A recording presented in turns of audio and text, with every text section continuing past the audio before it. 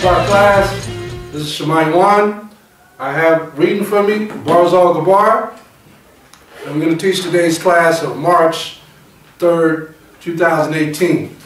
Okay, uh, we just finished up wrapping up with Purim, which was uh, Tuesday and Wednesday. And uh, finished up that Wednesday evening. Uh, today is Shabbat class, and we have the next uh, feast day coming up is the Passover, which is going to be uh, March 31st. Some brothers are keeping it March 30th. Some brothers are keeping it even today. But, uh, you know, most high willing, all of us will be in unity soon to keep the Passover right.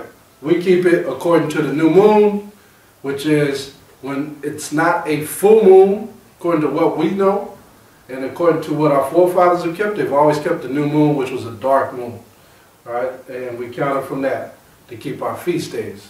So today, without further ado, we're going to go into the class and we're going to read uh, Colossians 3, verse 17 to start off with the class today.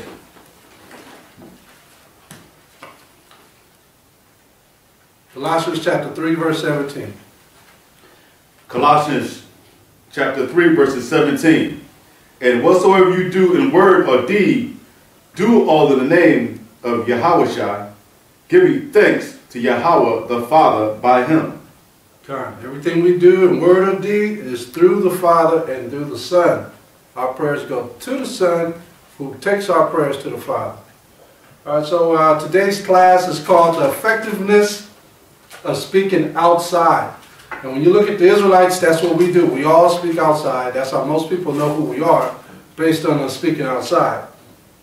So, is this scriptural? that we must speak outside. And when we go through the scriptures, we're going to show you that it's scriptural. And this is something that we must do. And is it effective for us to speak outside, outdoors? And the answer is yes.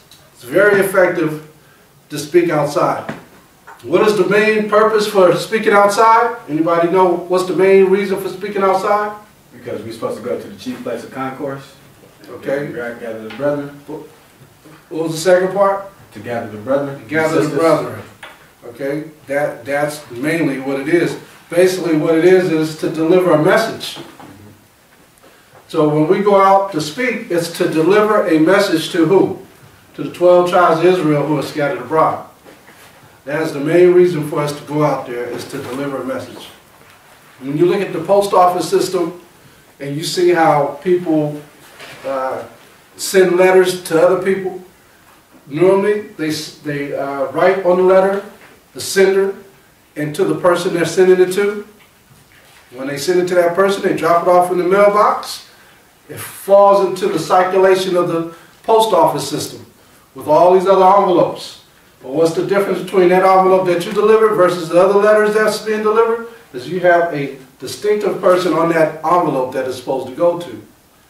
Okay? Once that envelope gets to that designated spot where it's supposed to go to, it's reached its destination to the sender, to the person they're supposed to send it to.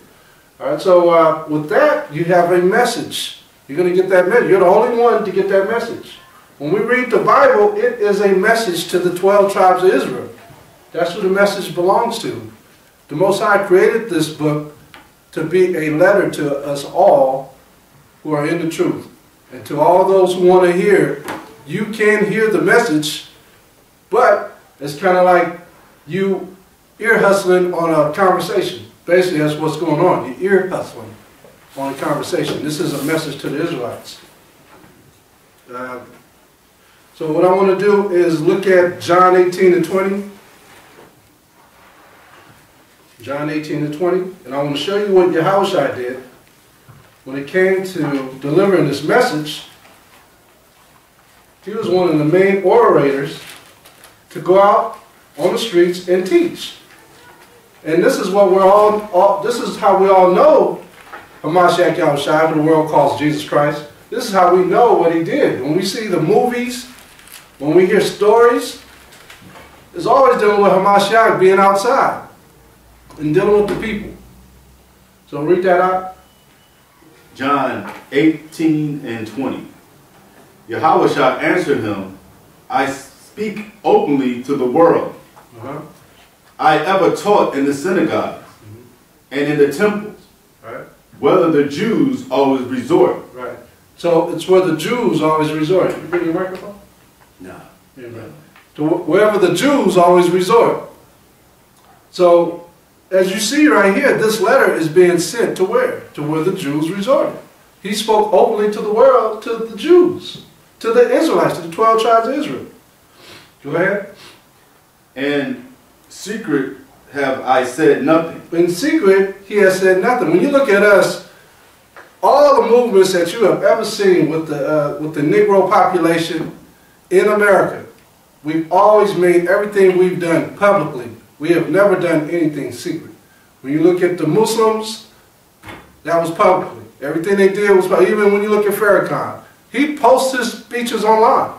We're not hiding anything. All our speeches are publicly seen.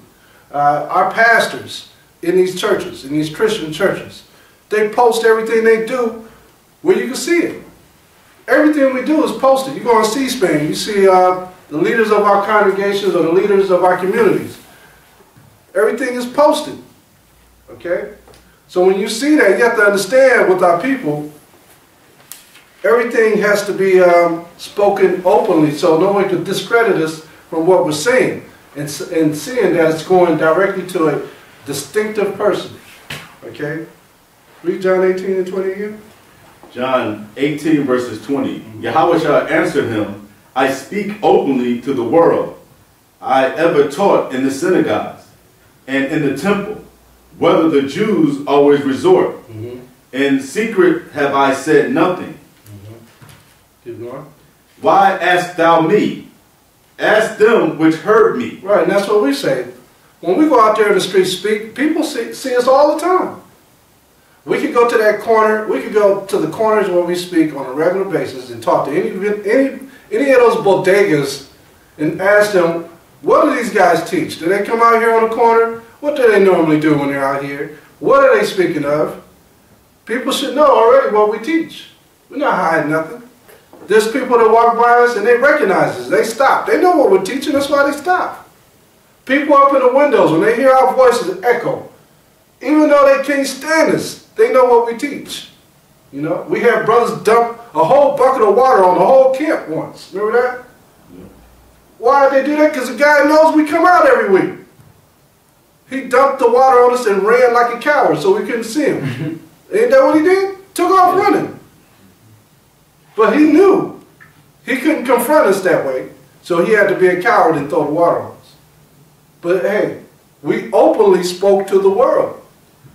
Everyone has always known what we do when we go out there and speak. Just like the Hamashiach Yahushua did the same thing. Okay, you keep going up. You want to answer this? That's Yahweh. Why ask thou me? Ask them which heard me. What, what I have said unto them. Behold, they know what I said. Behold, they know what I said. Come on.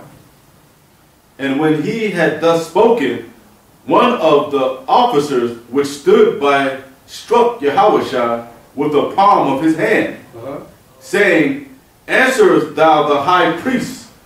So Right, so he said, answers the high priest. He asked you a question. What were you teaching? And that's just like our people. They don't want to understand. They, they called him getting smart, but basically what, what he was doing, he's telling the truth. He spoke openly to the world. The world. So that's our job, to speak openly to the world. So that's the effectiveness of speaking, is going out there on the streets. It is effective. Right? Because this is what our forefathers did. They spoke openly to the world.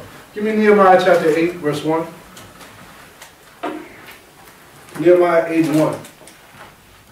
This topic is, is something that all Israelites should meditate on because you have some Israelites out there who don't believe we should be out there speaking.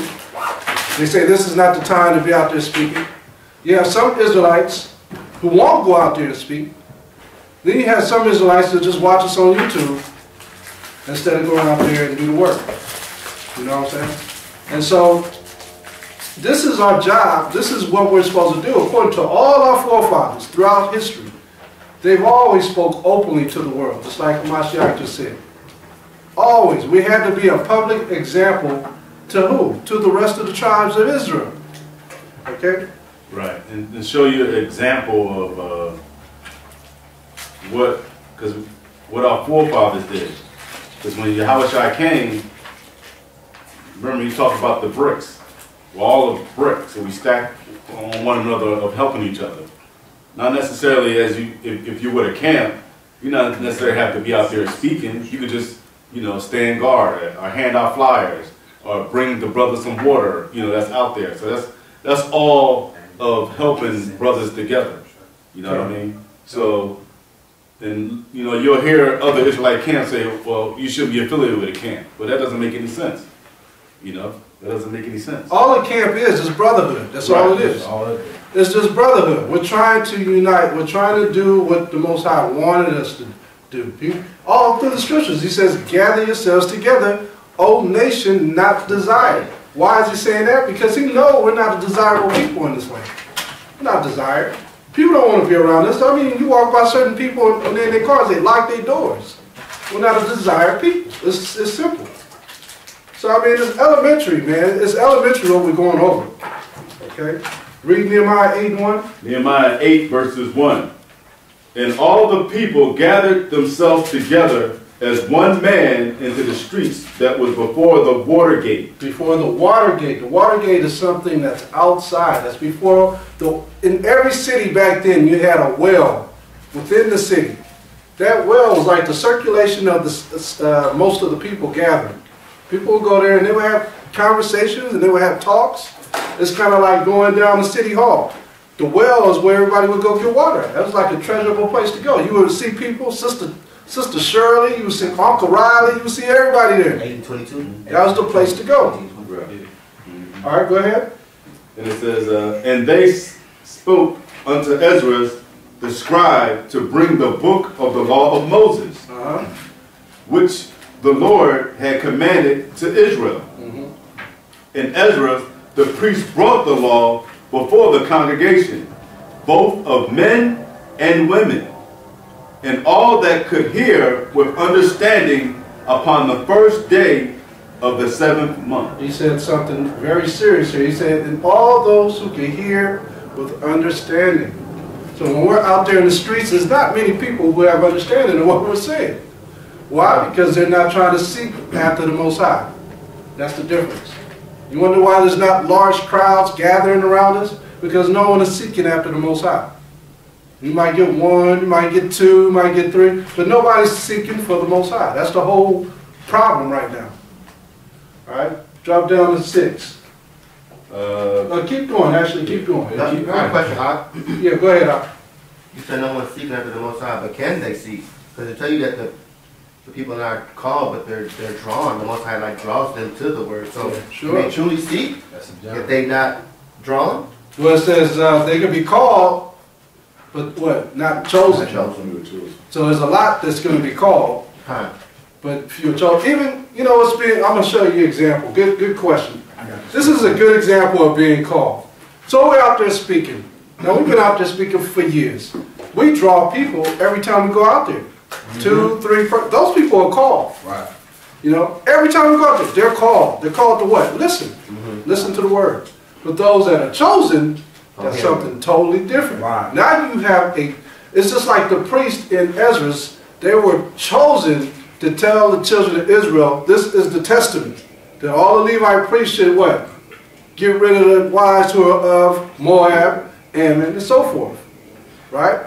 Oh, those were chosen men. But those who are called are those who are listening. Those are the ones who want to know, what am I doing wrong? Those are the ones who are called.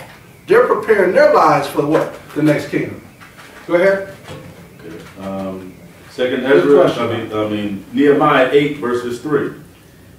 And he read therein before the street that was before the water gate, from the morning until midday. Mm.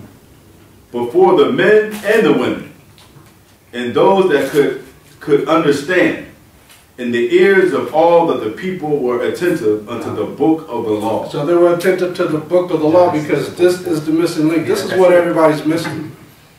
Our people don't understand this Bible. They were attentive to this. Mm-hmm. We're reading out of this. It's not our own words. People always tell us, I want to hear your words.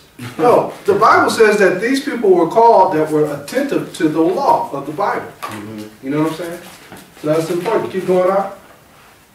Um, verse 4. And Ezra the scribe stood upon the pulpit of wood, which they had made for the, for their purpose.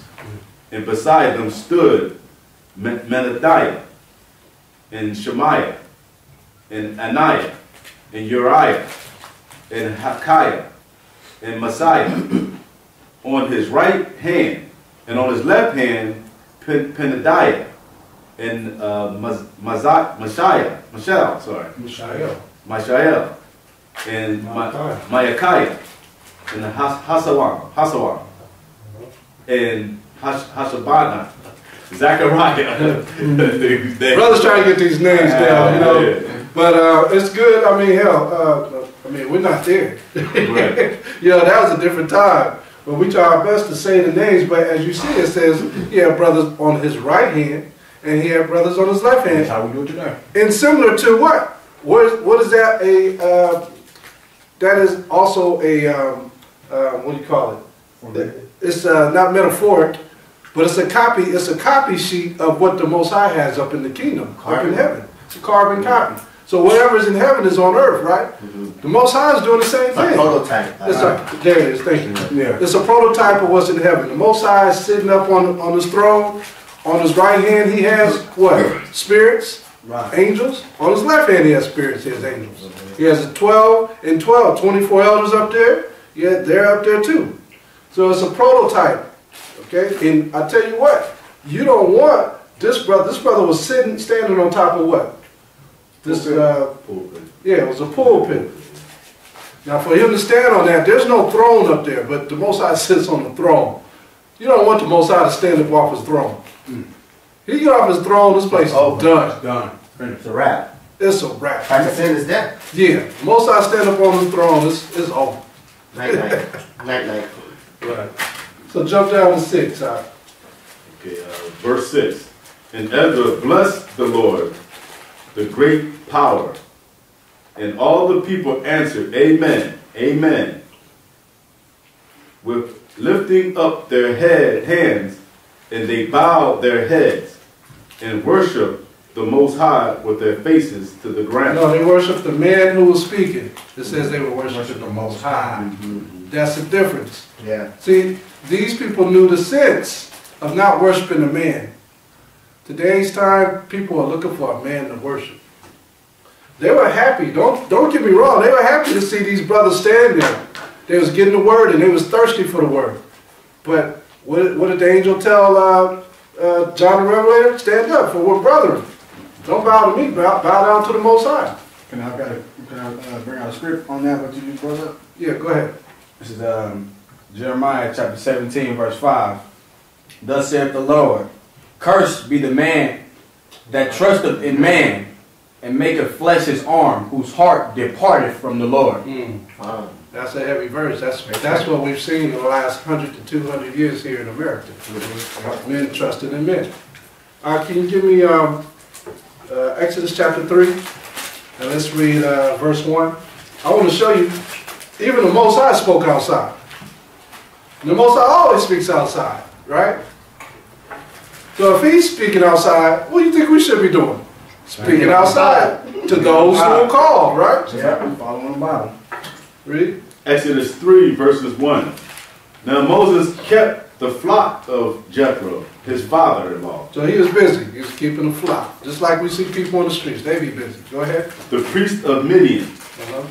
and he led the flock to the backside of the desert, and came to the mountain of the Most High, even to Hera, Hera, Hera. And the angel of the Lord appeared unto him in a flame of fire out of the midst of a bush. And he looked, and behold, the bush burned with fire, and the bush was not consumed. Is that inside? Mm-hmm. There's a bush outside. Go ahead. And Moses said, I will now turn aside and see this great sight, why the bush is not burnt. Mm-hmm. And when the, the Lord, the Most High, saw that he turned aside to see, the Most High called unto him out of the midst of the bush, and said, Moses, Moses. And he said, Here I am. And he said, Draw not nigh hither, but off thy sorry, put off thy shoes from off thy feet, for the place wherein thou stand is holy ground. Where you stand is holy ground. He said, take off your shoes here. But he was outside. That's the whole point. He taking off his shoes outside because he's on holy ground. So, like, I got a question. Yeah. Um, so I know where when all when, it's, when the Lord is all caps, it's talking about Yahweh, but isn't that burning bush and all the all those miracles in the Old Testament wasn't that Yahawashi? There was Yahushua. But that's why he didn't take any fame to his name. It, is- it was all in the name of, of the Father. Everything is the Father. You know, even though we read it right here, it Yeah. tells you it was, uh, the angel came and spoke to him in the burning bush. We know it was the Father. Mhm. Right.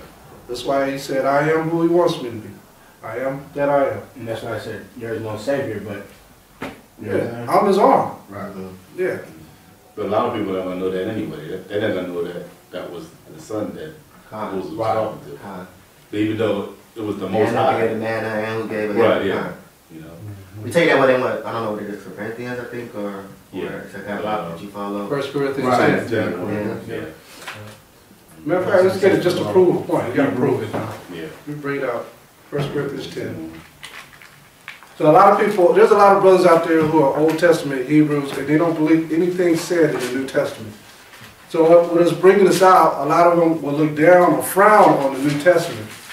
But uh, Yahushua is a living testament. You have uh, uh, scholars back in those times, scribes back in, in those times who prophesied that Hamashiach would come. Mhm. And he also wrote in the historian books that he did come and said who he was. So it's whether you want to believe or not, the scriptures tell you if you don't believe, you're condemned, Yeah. right? But that's for you to do and me to tell you, hey, follow this man. This man is the son of the Father. All right? Go ahead. 1 Corinthians 10 verses 1.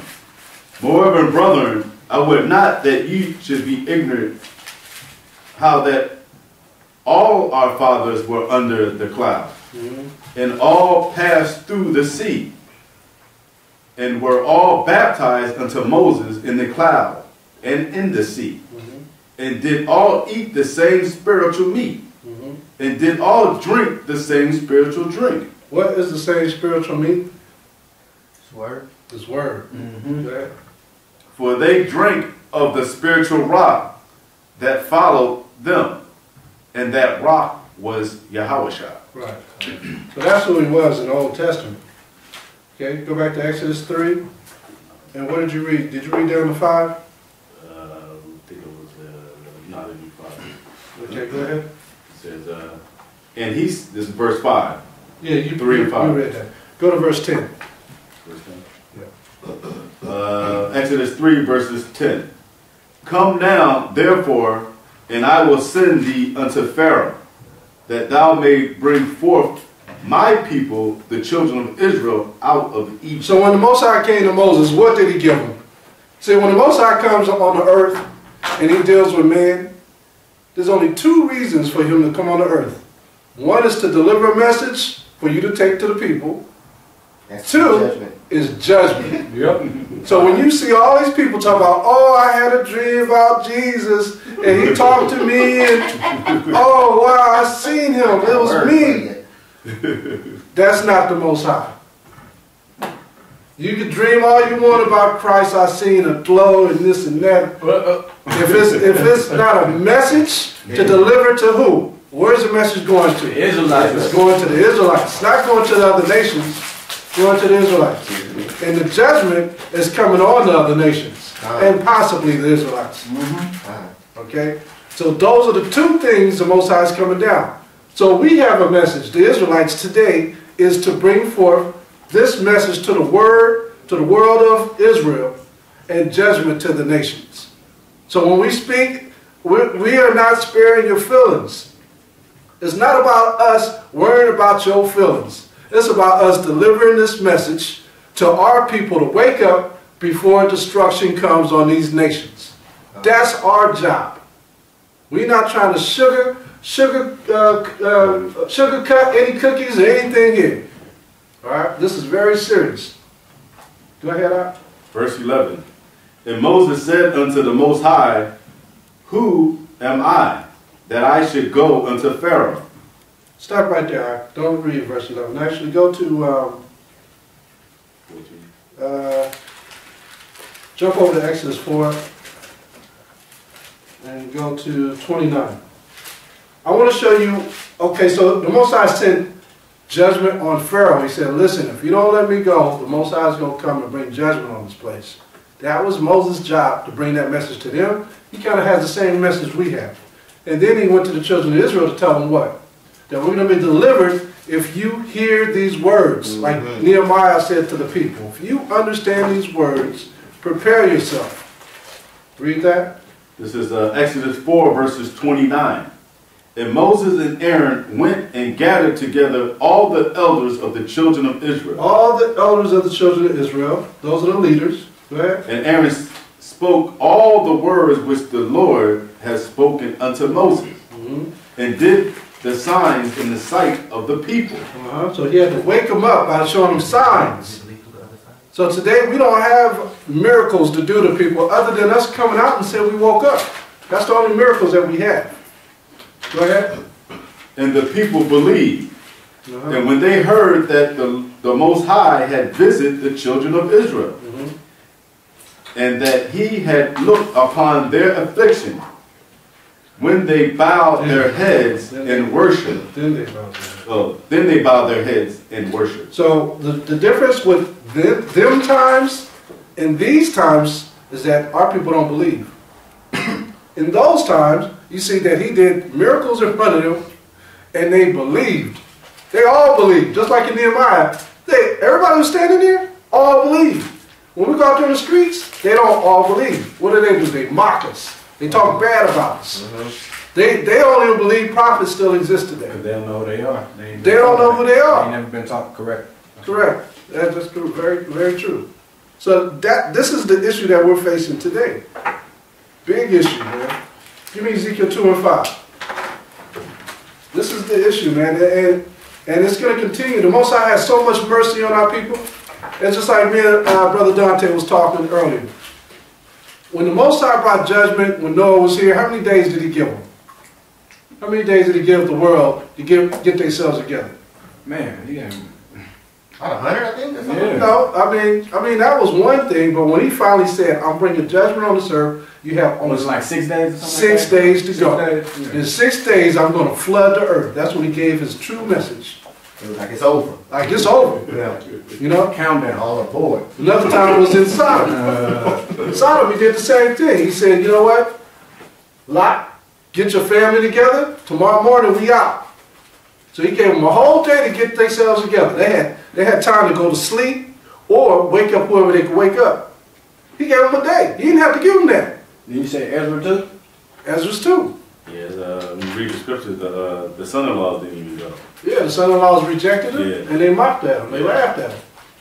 And Ezra's, he gave them a whole week for the men to get rid of their wives. Whole week. He said, get rid of your foreign wives and go into the kingdom. Some some Israelites, hard-headed Israelites, didn't go. You know what I mean? But that was all that covered up Yahawashi. Huh? Saying like people not taking heed, mocking him, Sure. crazy, thing, John sure. the Baptist. Like I said, I, I always say if Christ is here today, they'll kill him again. Oh, easy. Like, what you talking about? You can't judge me. what? I know mine is. If, if, especially the house I came with that thunder. Oh my goodness. Oh man, they, you know, you're looking at them with them red eyes, and you're like, you know, you're gonna be judged. Yeah, man, they're gonna try to do something to them. You know. Read Ezekiel two and five. This is Ezekiel 2, verses 5. And they, whether they will hear or whether they will forbear, Mm. for they are a rebellious house. Yet shall they know that there have been a prophet among them. Right. So if they don't want to listen, it's on them. It's on them. There's been a prophet amongst them telling them what's coming. You said that prayer gonna be an abomination. You turn away from the law. I'm telling you, he's telling you right there. But then, you know, when you're out there speaking on the streets, People are watching you, they're hearing you, they're seeing your body language. And you know what? Some people are uh, afraid to confront us.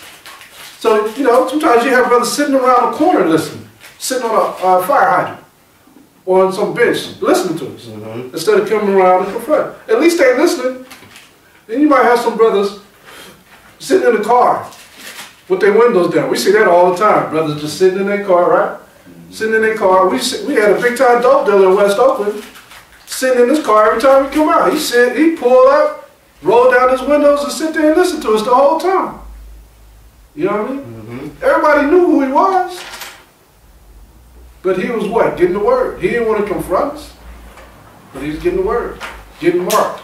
I think that's it's true. Like when we do every day, like we deposit the seed, but we might not see it flourish. We not, might not see the fruits of that seed being deposited. Yeah. It might it might be flourished down the line, or another crew or another Israelite brother Mm-hmm. fully water that Right. thing and, Right. and sprout. That's That's true. what the scripture on there. Mhm. They said, um, I don't know. Damn, I forgot what I was on You getting old, bro. you getting old. You too young to be getting old. You're young old man. I like this thing. this. You gotta lift it. from- Yeah, man. And then put it. Yeah, hold it. See, bars are too old. See that? Yeah, man. Balls all used to You just too use a old. battery. Yeah, man. Please. He, he, he, he using rocks over here. Usually the matches, man.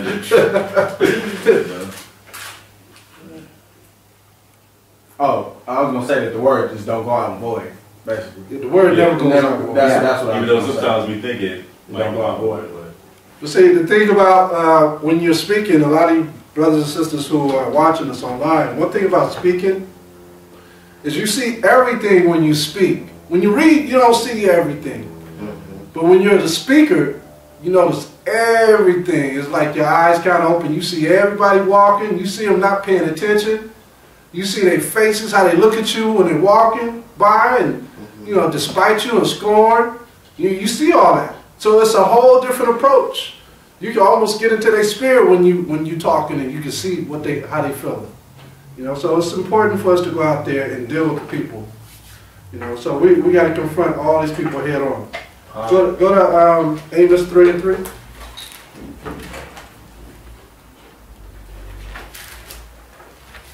Amos 3 and 3. Amos 3 verses 3. Uh-huh. Can two walk together except they be agreed? Right. Uh, can two walk together unless they be agreed? And so that's why we're out there trying to give the sense so people can have understanding of what we're talking about. In order for us to walk together, we have to understand together. You see this room, why is I mean, it's empty. I mean, it's brothers in here, but, you know, it should be jam-packed. People at the door standing up. I mean, we got two rooms here that we can actually use. We're in the smallest room. Mm-hmm. We got another room that's huge. The reason why we come in this room is because there's only about a, a, uh, a lot of brotherhood of 10 or less Yeah. that normally come. Plus But- voice. and- Right. But if they had the understanding, they had the understanding and they realized, hey, my children need to hear this, just like you said, Brother Dante, that, you know, the word doesn't go out void. Mm-hmm. Even if we had children in this room, two, three, four years old, they could be goofing around, whatever in here, guess what? You gonna get something. They're gonna hear it and they're gonna remember it years down the line. Like I remember my daddy or my mama used to bring me Yep. to the school. I used to hear them talking about it's in their mind. Heard they say Christ was black. All they do, all they do is talk about the laws, the laws, the laws, the laws, the laws, the laws. Every Hey, Saturday, the It laws. don't go out void, man. They remember everything. That's how they catch on. Yeah. Yeah, they ain't gonna forget. I know if I was a kid, I probably remember. Like man, I remember the Black Panther Party uh, breakfast that I used to get. And I was a little old kid. Uh-huh. I was a little old kid. I, all I remember seeing pancakes and brothers with leather jackets and big afro. That's all I remember. I don't remember a word they said, but I remember they they had their jackets on. You know, they was feeding us, That's and I was happy. That's epic. You know what I mean? But it's in my mind now. I remember. You know what I'm saying? So it's important that we get this word out, man, and, and be visuals. That's another thing when we're out there speaking, we're visually seen. And not only, we can, I've seen kids walk by us with their mamas and just dead stop in their tracks and just look up at us, trying to figure out, their mama got to come jerk them by the hand. Come on here. You know, right? Yeah. We didn't see that before, man. So I mean, that's what it's about. Let's go to um, read Amos three and three again. Amos 3 verses 3. Can two walk together except they be agreed? Mhm, keep going. Will a lion roar in the forest when he have no prey? Right, I mean, think about what he just said. Will a lion roar? Oh, that's mine. I my little notes. I, I be dropping these like uh, Hansel and Gretel. Man. Preach out to drop it down. Somebody. The scripture It don't go out everywhere. for it, Precepts be coming out my ears. They fall blind, man. I got a thousand of these little precepts.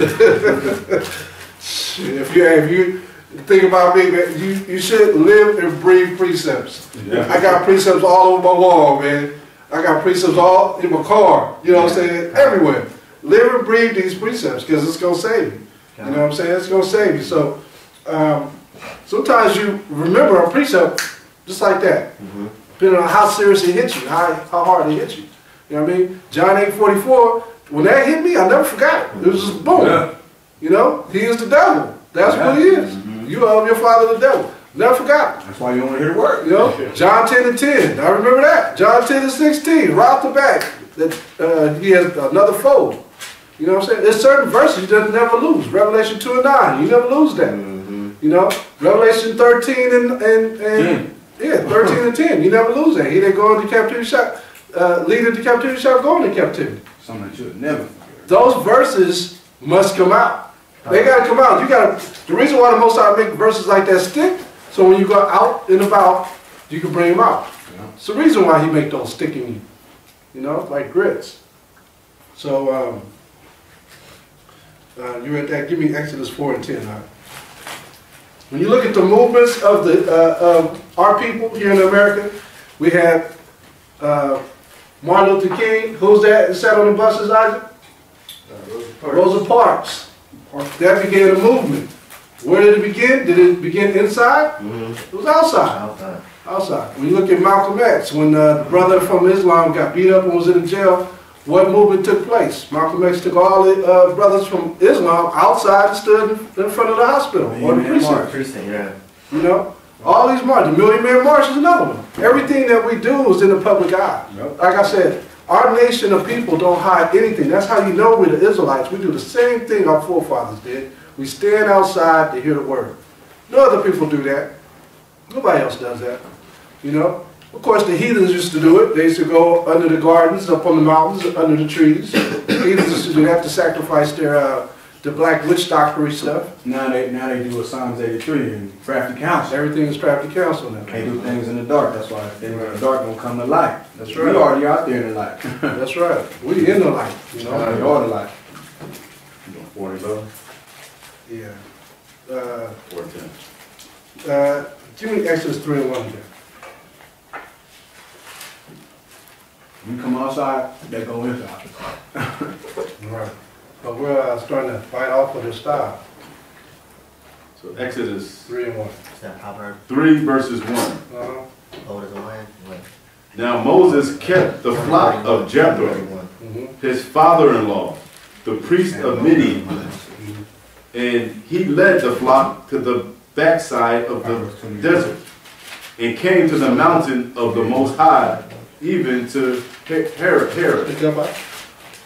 And the angel of the Lord appeared unto him, a flame, a fire out of the midst of a bush. And he looked, and behold, the bush burned with fire, Mm-hmm. and the bush was not consumed. Mm-hmm. And Moses said, I will now turn aside and see this great sight, why the bush is not burnt. And when the Most High saw that he turned aside to see, the Most High called unto him out of the midst of the bush. Mm-hmm. Come on. and said, Moses, Moses. And he said, Here I am. And he said, Draw not nigh hither, but, oh, sorry, put off the shoes from off thy feet. Jump to verse 7 now. Verse 7. And the Lord said, I have surely seen the affliction of my people which are in Egypt.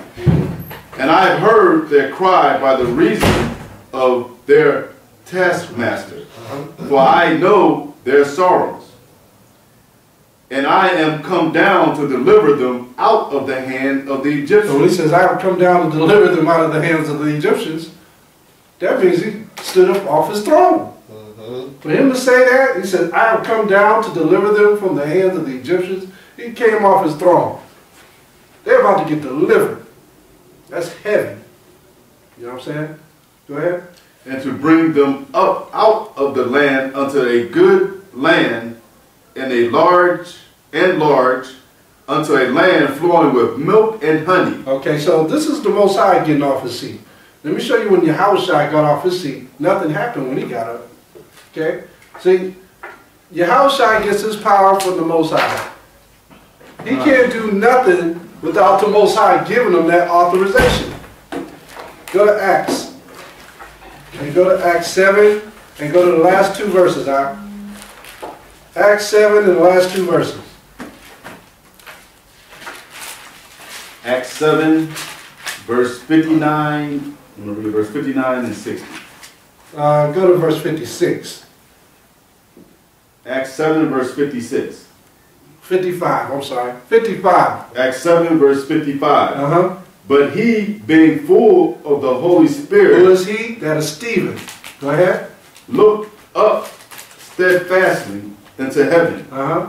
and saw the glory of Yahawah. He saw the glory of the Most High. Did it say he saw the Most High? Nope. It say he saw the glory of the Most High. Come on. and Yahweh standing on the right hand of Yahawah. So he saw Yahawashi, he didn't see the Most High. Come on. And he said, Behold, I see the heavens open, and the Son of Man standing on the right hand of Yahawah. Uh, so he saw him standing on the right hand. I Come cut on. that Trinity too. It's great. Yeah, it's telling you. He's, So right. many of them. so many. He said that he was standing on the right hand. So Yahawashi is standing too, but did he come down on earth to deliver? He could have came and swooped Stephen up, took him back into the spirit world. Right? Where, where he is. He didn't do that. Keep going. Then they cried out with a loud voice, stopped their ears, and ran upon him with one accord, and cast him out of the city, and stoned him. And stoned him. Now drop down to 60. So Stephen was stoned. Yahawashi didn't come get him. Come on, let's see if we're going to get him after he gets uh, stoned. Go ahead. Uh, verse 60. And he kneeled down and cried with a loud voice, Lord, lay not this sin to their charge. In, yeah, go ahead. And when he had said this, he fell asleep. He just fell asleep. He didn't get delivered. He, he in the ground with everybody else. It's had too much tribulation, right? Yeah, we got to go through it. But Yahawashi, the point is, the Most High, if He stands up to deliver us, we will get delivered. If Yahawashi stands up, we ain't get delivered unless the Most High tells him to come down and get us. Mm-hmm. So I mean, that the judgment hadn't hit. There was no judgment at that point. It's going to come, but it's not for that particular time. Mhm. Okay, but that's what that was my main point. Because remember, this message is: is it effective to speak outside? And what is the effectiveness? When the Most High comes down, He brings judgment and He brings a message. This was a message to Paul. You know what I mean? For him to reminisce on what he did, he killed his own brother after he woke up. But that's it. So that's why I said, yeah, we have to be uh, very careful when we see our brethren pass away. When they pass away in the streets, Mhm. and we think, uh, you know, um, Most High took them so he could be with them or whatnot. No, the Most High takes away the righteous to prevent them from the day of judgment too. Read um, Isaiah 57 and 1. Isaiah 57 and 1.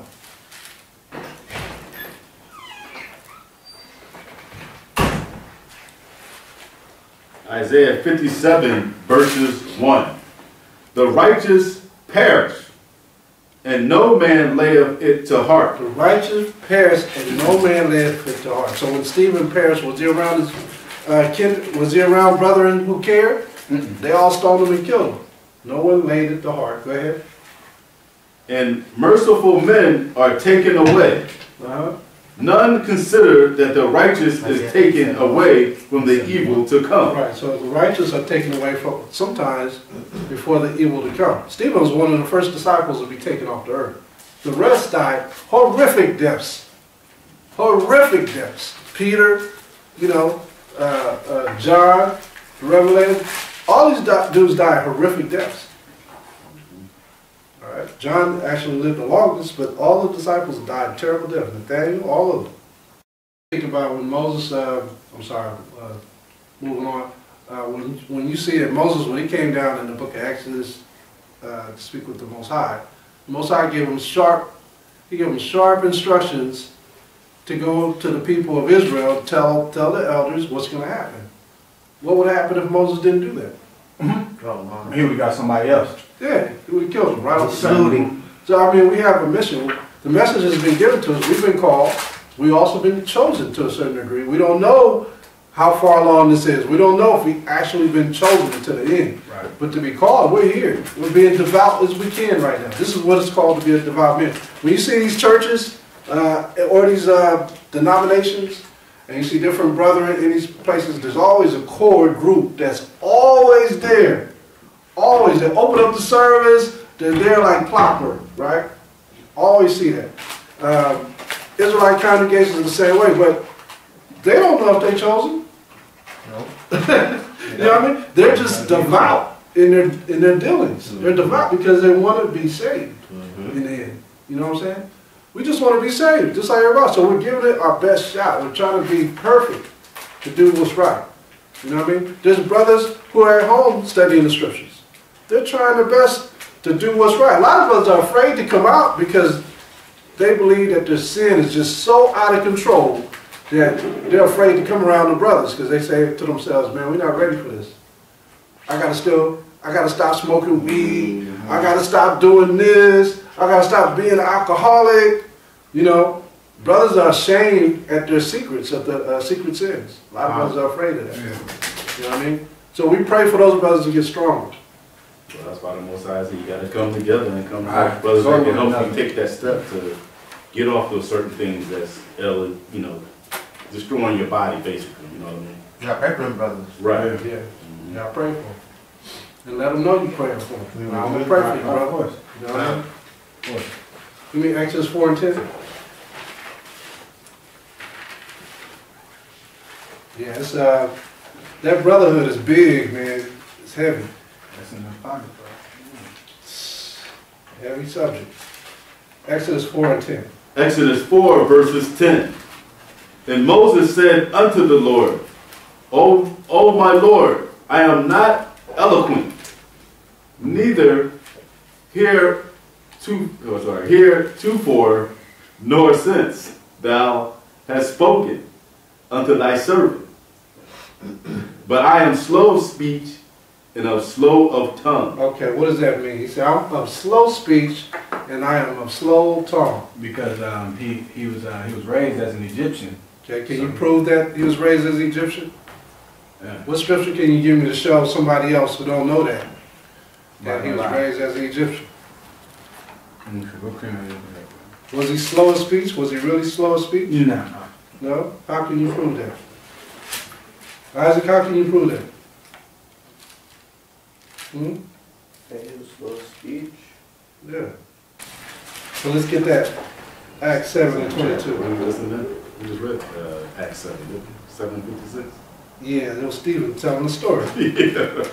Oh, Because he talks about the whole heritage of Israel. Yeah, read Act 7 and 22. Acts 7, verses 22. And Moses was learned in all the wisdom of the Egyptians, and was mighty in the words, And mighty in words mighty in words and in deeds. and in deeds. So Moses was mighty in words and in deeds. So if he was mighty in words and in deeds of the Egyptians, Isaac, how is he slow in speech to the Most High? When he's standing before the Most High, how is he slow in speech then? If he was mighty in words and in deeds to the Egyptians. Must mean something else.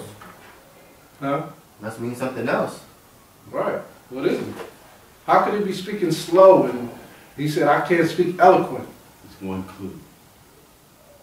What does the Most High, what's his, what's his, What's his language? what's his pure language? Hebrew. Hebrew. Right. Ah. No, that's that's what I initially was getting to. Yeah. So the Lashon Kodesh He couldn't speak it purely. Yeah. That's. That's why he said, look, he said, go and speak to your people. Moses didn't speak Hebrew. Right. So the Most High got mad and said, you know what? Tell your brother Aaron. Mhm. Aaron grew amongst his brethren, so he knew the language. Of course. So when you look at some of these churches, they'll tell you, oh, Moses just stuttered. he couldn't speak well. He had a stuttering problem. You know?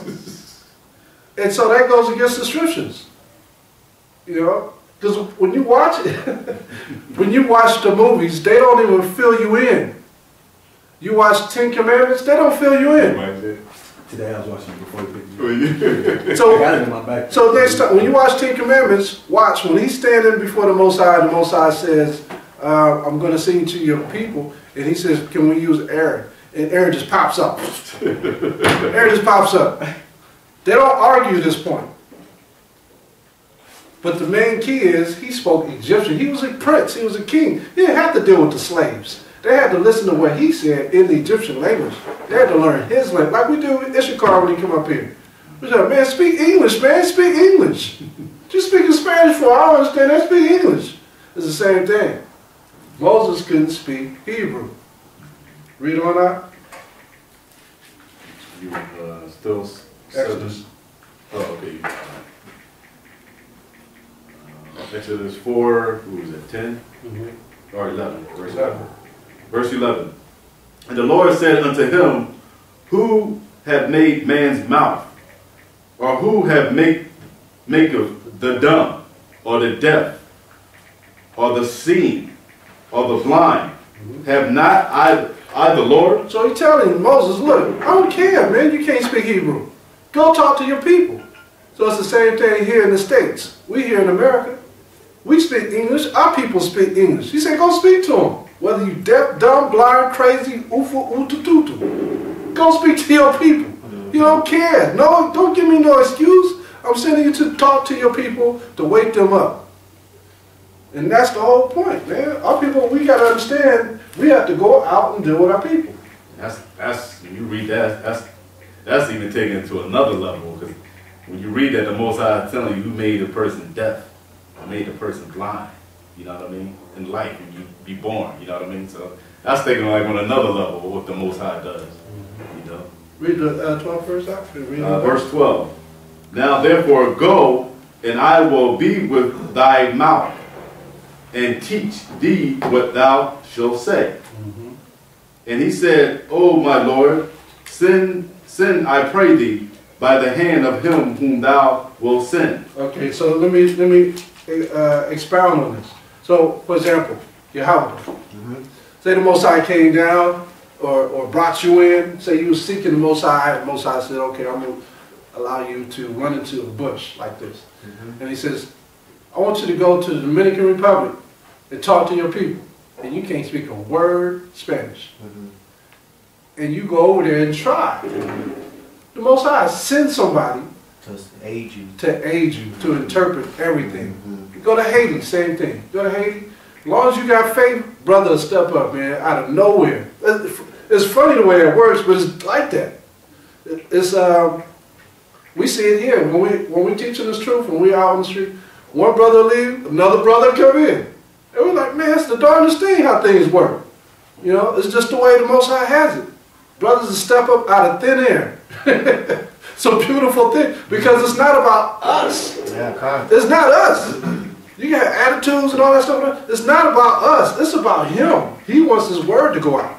Yeah, it's- But that's all spiritual too, because basically Most High said, I don't need you. Yeah, You know what I mean? Yeah. For somebody to come in and go, Most High said, I don't need, I could wake somebody else up. just that quick. He would have did Moses the same way. Right. Mm-hmm.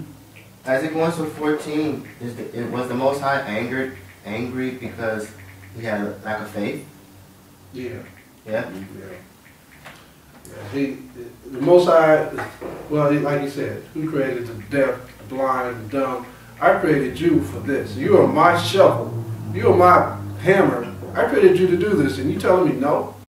So he uh, had a change of heart just that quick because he wanted to know who was fair. It's funny with men, mostly men. I'm gonna say men. Men have a yearning to learn where they come from. They hit a certain age. I I don't see too many women like this. Women just pretty much just cool about it. They'll go and get their women will get their DNA swab, swab, and that's it. It's quick, it's easy. I know who I am. I come from Africa, China, Europe. Right? You know, 10%, 15, 20. You know what I mean? With brothers, we want to go deep. We always want to know where we come from when we hit a certain age. I got a cousin, he was in jail his whole life. I got a, a history of my family tree that my uh, pops gave me. And my cousin been in jail his whole life. I ain't never heard from him.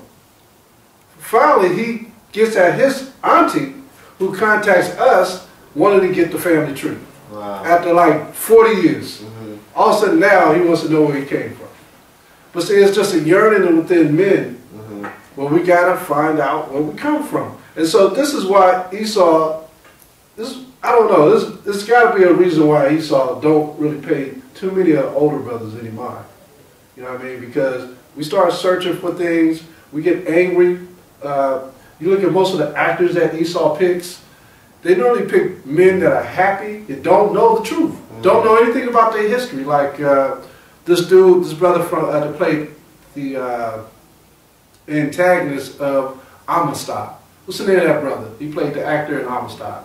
You talking about the Hamite dude? Yeah. Is it him? Yeah, Yeah, yeah, man.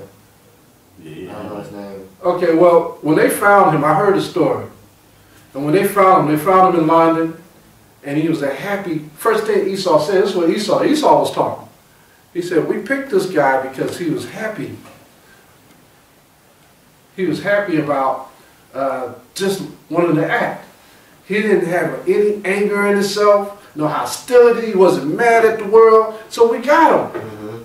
In other words, we can work with him because he's not an angry black man Calm. basically.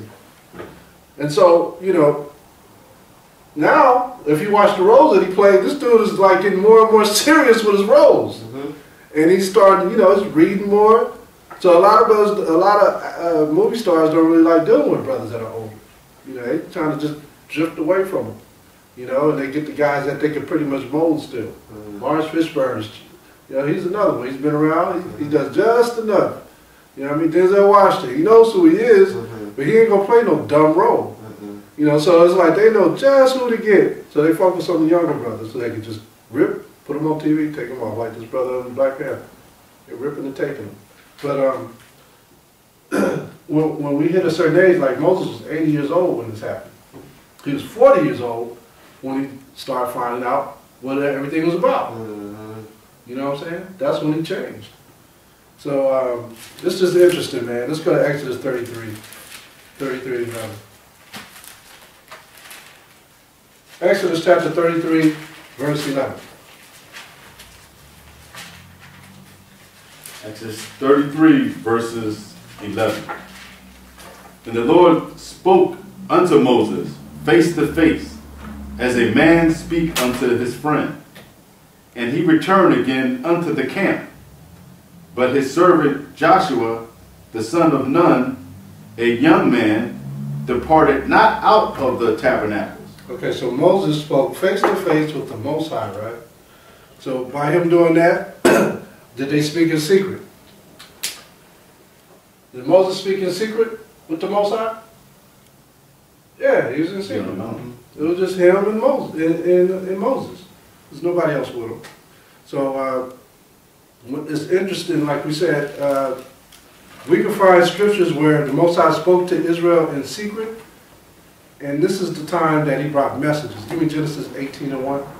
And the Lord said, Shall I hide from Abraham that thing which I do? Uh-huh. seeing that Abraham shall surely become a great and mighty nation.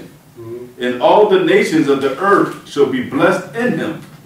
For I know him, that he will command his children and his household after him, and they shall keep the way of the Lord to do justice and judgment, that the Lord may bring upon Abraham that which he has spoken of him. Go to 20. We'll stop right there 20.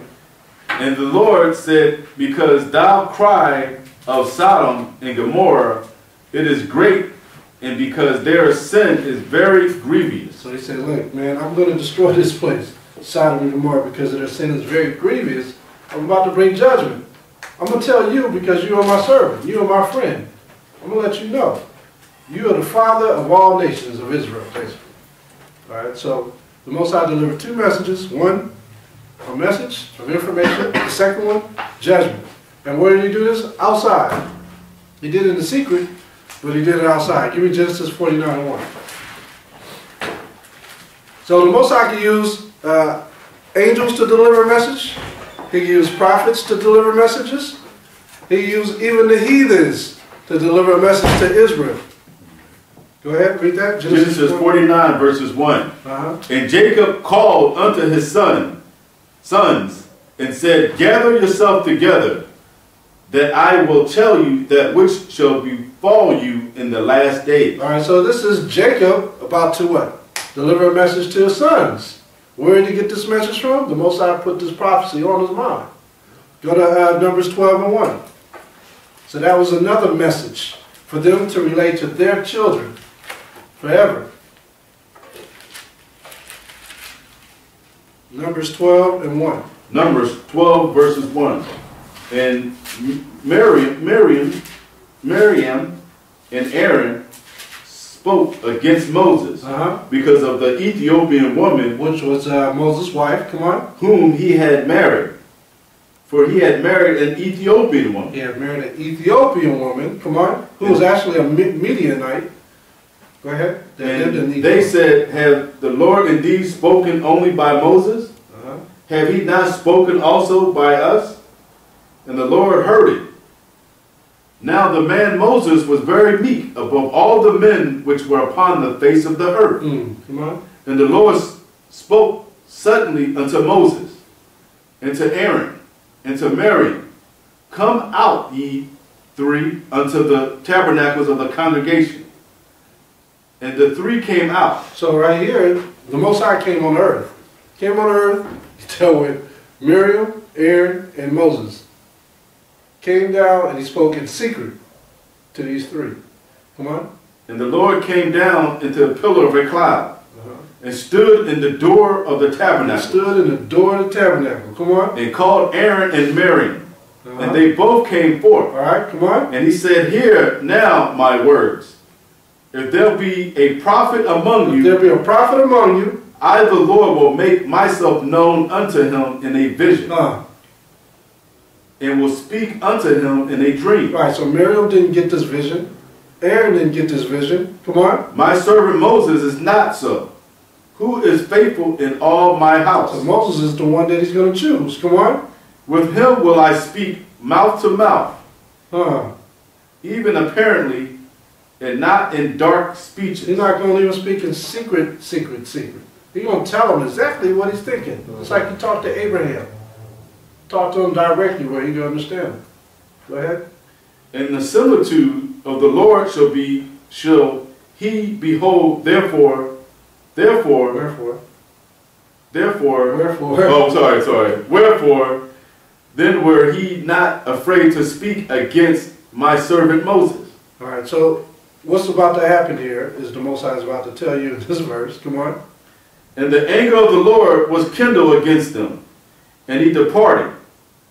And the cloud departed from the tabernacles, and behold, Miriam became leprous, white as snow. Uh-huh. And Aaron looked upon Miriam, and behold, she, was, leprous. so she was white. So this is a verse that a lot of brothers don't bring out, showing that Miriam was a dark-skinned woman. She became leprous as snow. She became a white woman. But this was a time when the Most High came on earth and he brought not a message, he brought judgment.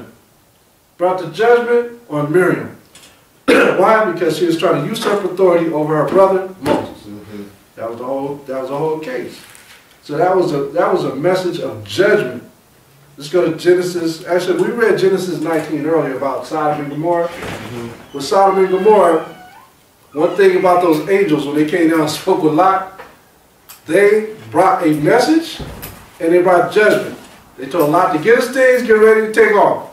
Now, why would you mess with some angels that's coming down to bring judgment? Do you understand what that means? If you messing with some angels strictly coming down just to bring judgment on her, here you are tampering with them, That's crazy. you're a dead man. You're a dead man. But see, the beauty about that, they didn't know they was angels. Right. Just like the scripture said, when we out there in the street speaking, you only another person standing there looking, he might be an angel. I Mhm. mean, he has a human form, look just like us, but you don't know.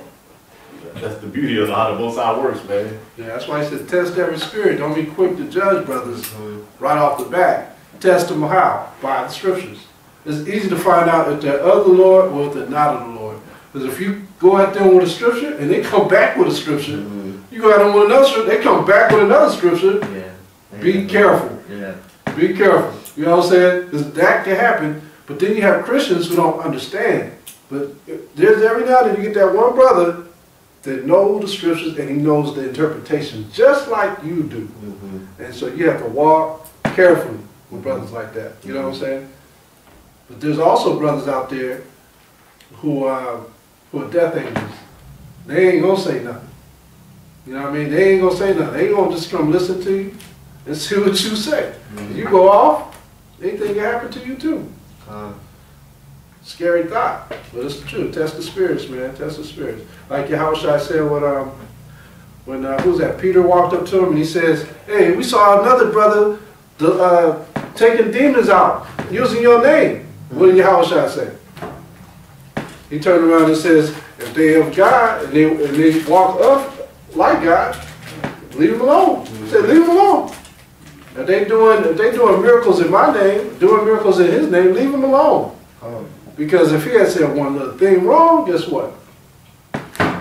It backfire. You gotta be careful with that. It's wisdom.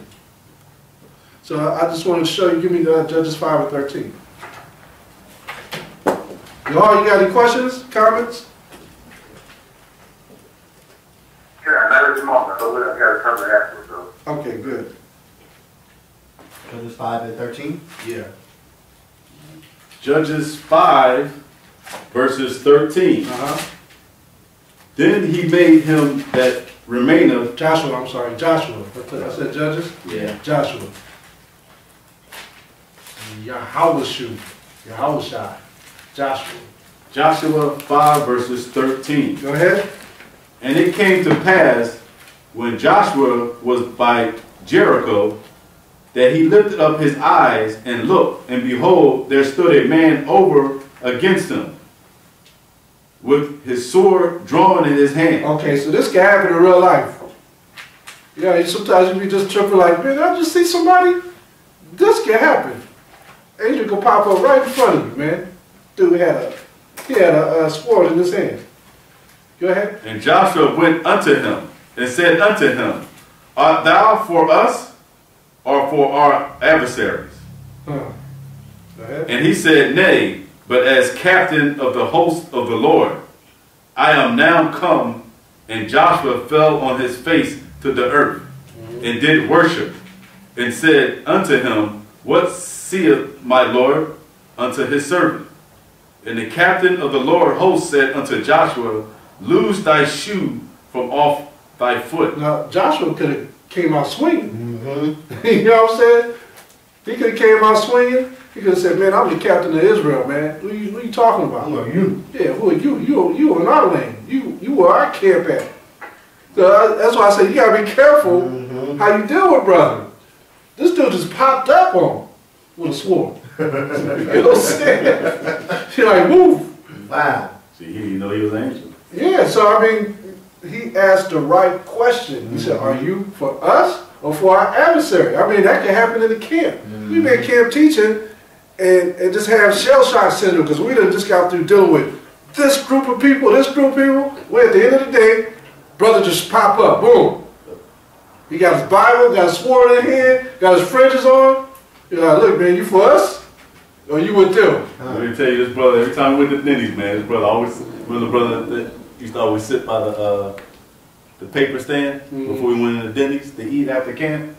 This dude would always sit there every time we come in camp, man. He had this big old stick, he had this big old coat, and he was just stand right by the, uh, coat. You couldn't even, he blend in with the, uh, with the newspaper stand. Mm-hmm. But he would always sit there every time we come from camp. We, we, we used to always give him food after we got done, you know, we would order him food. This brother had a thick beard. Yeah, man, it was crazy. He had a woolly hair. Mm-hmm. Brown skinned brother, older brother, Yeah. Had a garment on, Wow. had a garment on, Hmm.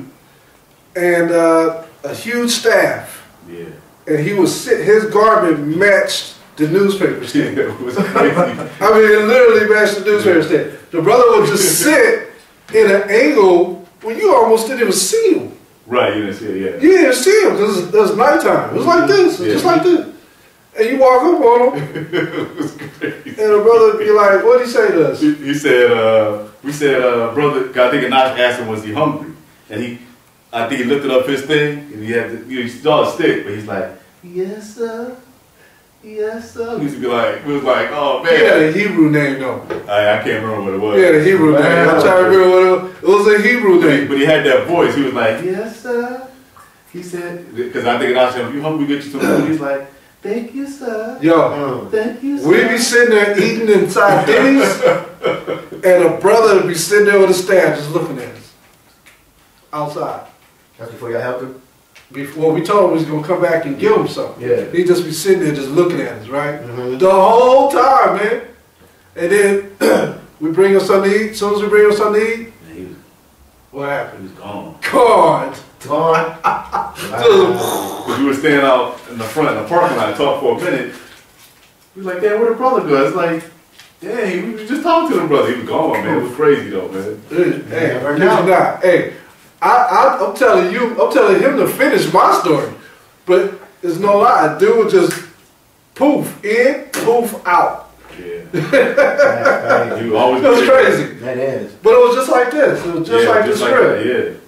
And you know, you just gotta walk carefully, man. You, you know, like uh, who's that? Uh, who's that? J. Edgar Hoover says, uh, who's that? Said that. Walk with a uh, carry a big stick and speak speak slow uh, quietly. Who was that? Which president said that? Yeah, but it was something like that, man. But just you just gotta be careful on how you deal with people. You know, very important, man. So he told him, to Loose thy shoes from off thy foot, for the place whereon thou standest is holy. And Joshua did so. It's the same thing that Yahushua told Moses. Loosen your shoes. And so we just got to be careful. When you look at the scriptures, these scriptures are our home base, man. You know, brothers say, man, how you know that the prophecies, what you're reading is true? Why? Because when you look at the scriptures, when you go, go to Nehemiah 13, uh, when you go to Nehemiah 13, this is how you know the prophecies are true. When we be talking about Esau's, the so-called white man, when we say all these different things, we ain't saying it just because we want want to uh, persecute these people. It's written in the scriptures. Go to Nehemiah 13 and read, um, what I want you to get. Write that down. Uh, 23, 25. uh, Nehemiah 13, yeah, 23. Start 23. Uh, Read loud. This is uh, Nehemiah 13, verses 23.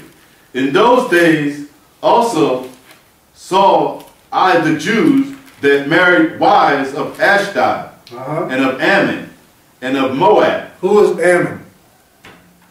Who is Moab?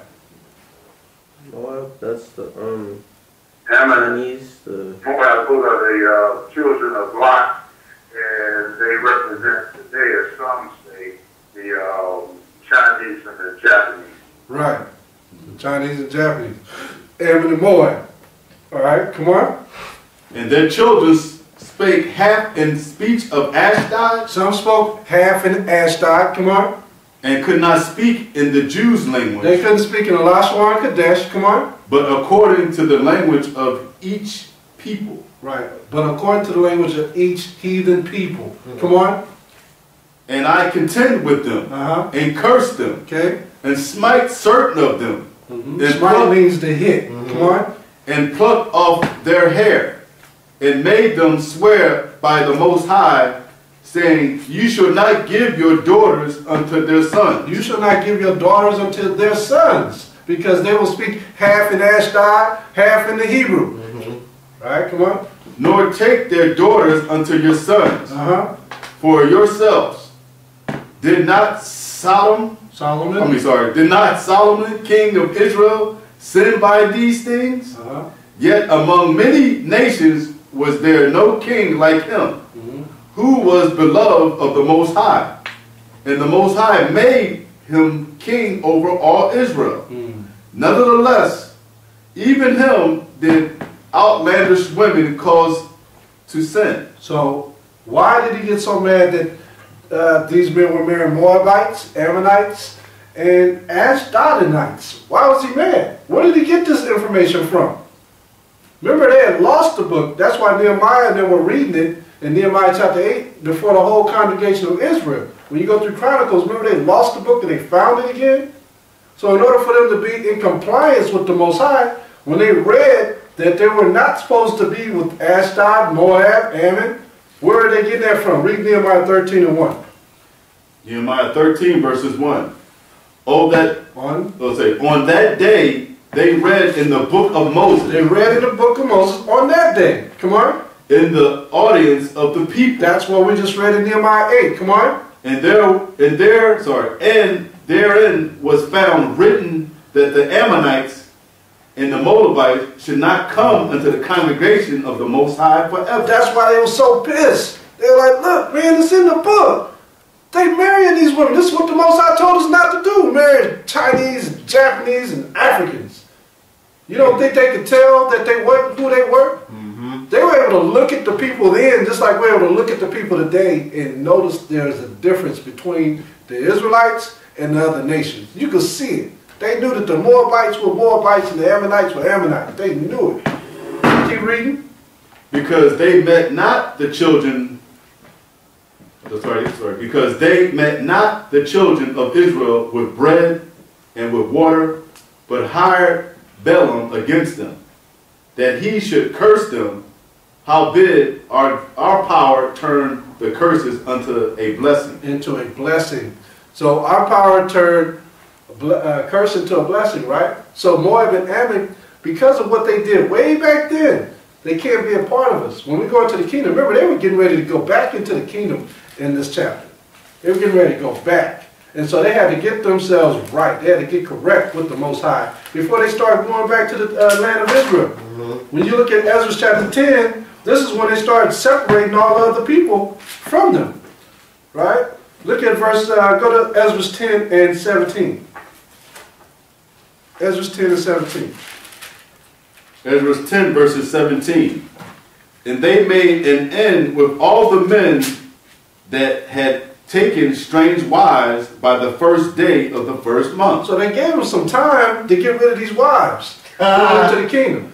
The Most High said, you know what, we're going to let these brothers decide themselves because it's too hard to just tell them. So we're going to let them know, look, brother, if you need to get rid of your wives, you got a month to do it. Get your, get your house in order. Give them the money. Like, what did Abraham do to Hagar? Sent her away. When he sent her away, did he give her anything? I gave her water, some other stuff. Yeah, water, food, maybe some uh-huh. money. Yeah. They got, hey, they had time to get them in order. So this is what our forefathers did before they went into the land of Israel. This is what happened. It's the same thing with Hagar. What are they reading? They're reading the Old Testament. They're reading Genesis. They're seeing what the forefather Abraham did and the forefather Moses did. So yes, this is why when we read the book of Obadiah, and we see that Esau will be ruling. Esau uh, will be up in the nest of space with his nest, with his with his satellites and all that. That's where we get that. We know Esau is the so-called white man based on the prophecies in this book. When we read Malachi, when he says, go, go to Malachi. Malachi is the last book of the Old Testament prior to the book of Maccabees. Okay? And uh, the Apocrypha. Two, two and one. Mean, two, two and seven? That was chapter one. Malachi chapter one, when it talks about Esau. Uh, oh yeah. Uh, Malachi one and three. Okay? One and three, yeah, okay. Malachi uh, one verses three. And I hated Esau and laid his mountains and his inheritance to waste for the dragons of the wilderness. Mhm. Um, did you want to? Keep, keep going. Okay. Where- Whereas Edom said, We are impoverished, but we, will, we shall return and build the desolate places. Thus saith the Lord of hosts, They shall build, but I will throw down, Uh-huh. Uh, and they shall call them the border of wickedness, and the people against whom the Lord hath indignation forever. indignation forever. I wanted them to read those two verses because this was meant for us to see this and recognize who else did us wrong when we came out of Egypt. The Edomites did us wrong, and the Edomites are still ruling. So if our forefathers could re- retrieve the book of the law in the book of Nehemiah, Ezra's, and Chronicles, and see where error was, when they were making babies with Ammon and Moab and Ashdod and all of the heathens, we should be able to look in this book and see in the end times who the Most High is angry with now. And he got mad at them for one little thing. They didn't give us any water or bread. So did Esau. But Esau had a chance to rule again, and what did he do this time? Ruled over us with a continual hatred. Continuous stroke. Continuous stroke. Isaiah 14. This is how we know who we are. This is how we know the children of Israel got to follow the protocol of the book, follow the protocol of the Bible. All right? When you look at uh, King Solomon and King David, did they not speak with, uh, did they not fall in error to judgment? They both fell in error to judgment. Acts chapter 2, Verse 1. Verse 1. And when the day of Pentecost was fully come, they were all with one accord in one place. And suddenly there came a sound from heaven as of a rushing mighty wind, and it filled with all the houses where they were sitting. Mm-hmm. And there appeared unto them cloven tongue. Sorry. There appeared unto them cloven tongues, like as of fire, and it sat upon each of them. And they were all filled with the Holy Spirit, and began to speak with other tongues, as the Spirit gave them uh, uh, utterance. Right, so they spoke in utterance, right? Go ahead. And there were dwelling at Jerusalem Jews, devout men out of every nation under heaven. Right, so these Jews were devout men out of every nation because in Jerusalem you have people who were Jews in Jerusalem, but you know what? They weren't devout. You had men who were not devout in Jerusalem. You had more men who were devout that were scattered that came together. And just those men that were devout that came together from other nations made a large group of men. It's just like today. You don't see a lot of Hebrew Israelites. But every now and then you see brothers get together, and those are the devout men of the nation. There's not a lot of us, man. There's not a lot of brothers in this truth that's devout, that's serious about doing this work. There's not a lot of brothers. You know, there's a lot of brothers that claim that they're Hebrew or Israelite, but they're not serious about, they're not really serious about going out there teaching their people. They're not that serious. Okay? So this is what we're doing. We're trying to uh, show our people, look, even in these times, our brothers got together. Okay? Read um, 14, the same chapter, verse 14. Acts 2, verses 14. Mhm. But Peter, standing up with the eleven, lifted up his voice and said unto them, Ye men of Judea, and all ye that dwell at Jerusalem, be this known unto you, and hearken to my words. Uh-huh. For these are not drunken, as ye suppose, seeing it is but the third hour of the day. Mhm. But this is that which was spoken by the prophet Joel. Uh-huh. And it shall come to pass in the last days, saith the power, I will pour out my spirit upon all flesh, and your sons and your daughters shall prophesy, and your young men shall see visions, and your old men shall dream dreams. Mhm. One more verse. And on sorry, and on my servant and on my handmaidens I will pour out in those days of my spirit, and they shall prophesy. And they shall prophesy. So this is what we're seeing today on the social media. This is the word of the Lord of hosts. I took you from the pastures and from following the sheep to be prince over my people Israel. I have been with you wherever you have gone, and have destroyed all the enemies in your path. I will make you a great name among the great ones of the earth. I will assign a place for my people in Israel. There I will plant them, and they shall dwell in their own land.